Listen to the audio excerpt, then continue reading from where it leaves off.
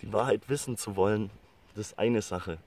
Die Wahrheit tatsächlich kennenzulernen, das ist eine ganz andere. Namaste, Freunde. Schön, dass ihr wieder eingeschaltet habt. Ja, ein paar Tage ist schon her. Deswegen heute nochmal ein ganz kurzes Video. Im Hintergrund läuft einfach viel zu viel.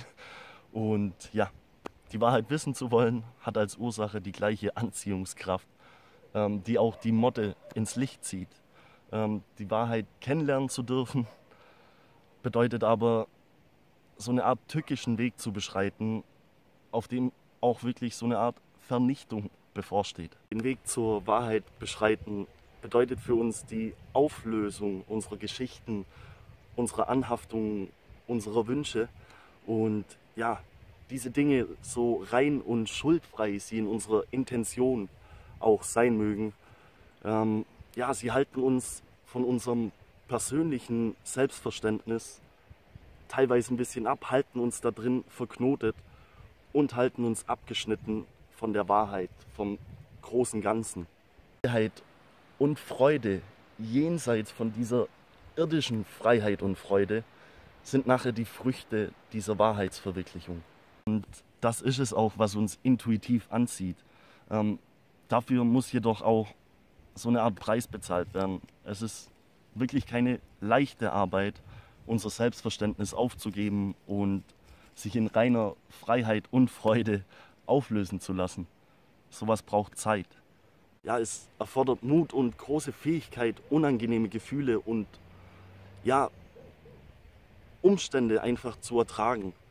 Vor allem ist es notwendig, sich immer wieder neu zu verpflichten, den nächsten Schritt zu tun und den nächsten Schritt und den darauf folgenden. Ja, was, gibt es sonst noch zu tun? Jedes Ziel außer der Wahrheitsverwirklichung wird im Vergleich klein erscheinen.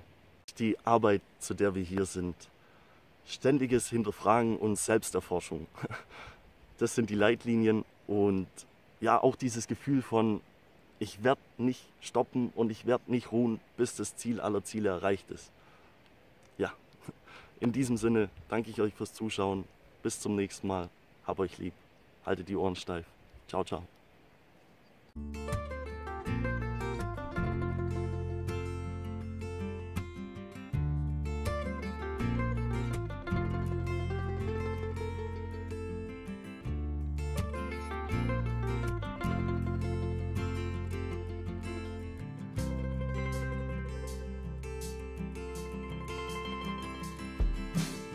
Ihr Lieben, noch ein kleiner Nachtrag.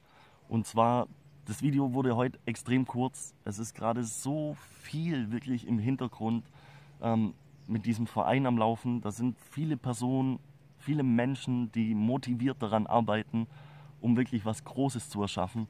Und wir würden uns wahnsinnig freuen, wenn auch du Mitglied dieser großen Bewegung wirst, ähm, dem Wandern in die Stille Verein, der es uns nachher ermöglichen soll, Erholung und Gemeinschaftsleben zu verknüpfen, Meditation als An Ankerpunkt dieser ganzen Geschichte nutzt und ja, uns hoffentlich wieder zu einem freien Dasein führt. Ich danke euch fürs Zuschauen. Schaut mal auf www.wandernindie-stille.com. Ähm, da findet ihr alle News, alles was ihr wissen müsst und wir würden uns, wie gesagt, wahnsinnig freuen, wenn auch du Mitglied in unserem Verein wirst. Bis dahin, haltet die Ohren steif, hab euch lieb und bis zum nächsten Mal. Ciao, ciao.